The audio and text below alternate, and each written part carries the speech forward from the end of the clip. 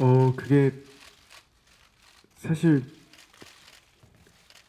조금 위험했습니다. 어 그게 곡 중에 춤을 추다가 어, 입술 박치기를 하는 장면이 나오잖아요. 그 장면과 관련해서 어, behind story라든지 혹은 준비 과정이라든지 이런 거에 대해서 얘기해 주시면 감사하겠습니다. 어 그게 사실 조금 위험했습니다. 어 그게 뒤에서 발로 머리를 밟혀서 이렇게 원하지 않는데 이 입맞춤을 어, 어떻게 하는 건데 그게 어 처음에는 에피소드가 있다면은 조금 세게 밟으셨었어요. 그래서 이가 아팠습니다. 네.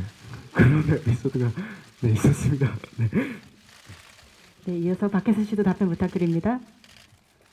네, 아, 말씀해주신 것처럼 조금 생각보다 되게 아, 아프고 좀 미, 네 그렇더라고요. 근데 음, 아, 또 판례는 그 상황에서 좀 적당히 불쾌함을 표현해야 되는데 그게 적당히가 너무 싫어 보이거나 조금 좋아 보이거나 하는 것 같아서 되게 여러 번 찍은 기억이 납니다.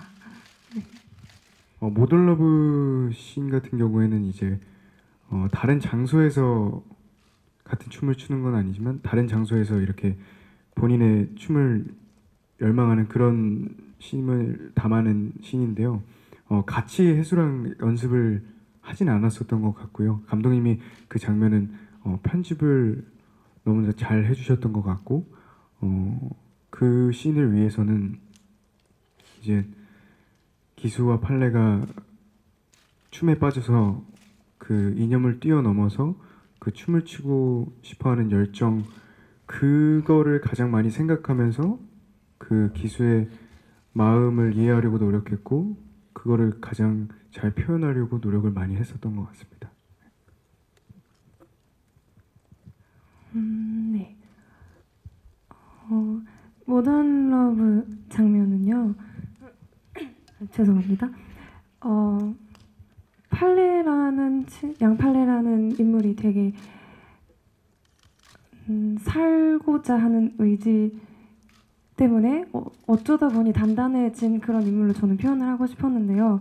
이 춤이라는 걸 만나게 되면서 그런 단단함 속에서 뭔가 처음으로 자기 감정을 자기 남을 생각하지 않은 뭐 가족들이나 그런 남을 생각하지 않는 자기 자신만의 감정을 꺼내는 걸 꺼내는 매개로 춤을 만났다라고 저는 생각을 해서 그 Modern Love 장면에서는 그런 감정들이 뭔가 개인적인 그런 뭐 답답함이나 춤에 대한 열정이나 그런 뭐 생계에 대한 부담감이나 그런 것들이 다 서로 이렇게 쌓여 있는 게 표현된 그런 춤이었으면 좋겠다라고 생각하면서 계속 준비를 했습니다.